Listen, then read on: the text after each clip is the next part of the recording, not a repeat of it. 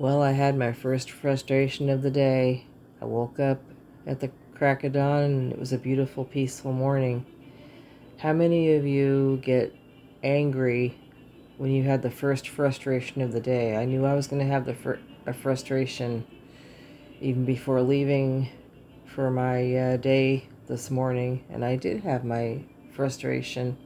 I tried to record a video about the daily frustration and how you manage your anger.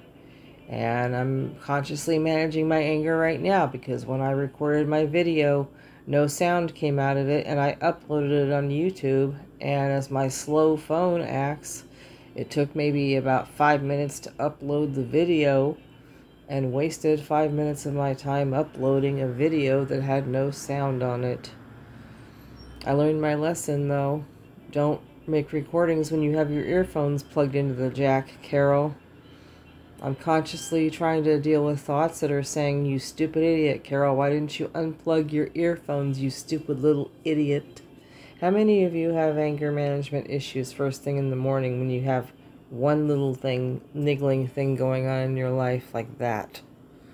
You're feeling mild and mellow, and God is in his heaven, and suddenly the devil is in you know where, trying to mess you up. Comment below. I will welcome comments that are respectful, to the point, and on topic.